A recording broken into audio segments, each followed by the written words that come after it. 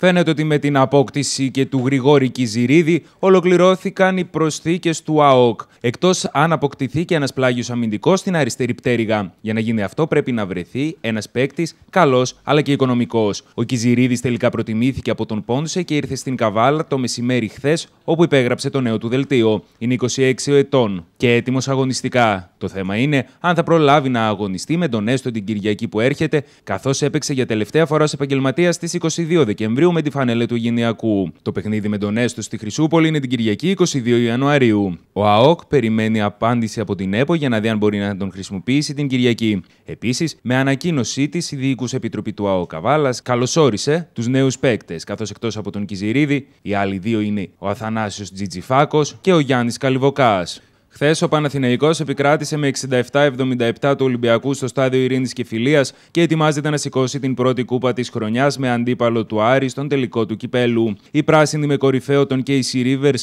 και εξαιρετικό τον Kenny Gabriel επικράτησε τον Ερυθρολεύκον και τον έριξαν στο Καναβάτσο για πρώτη φορά στη φετινή σεζόν.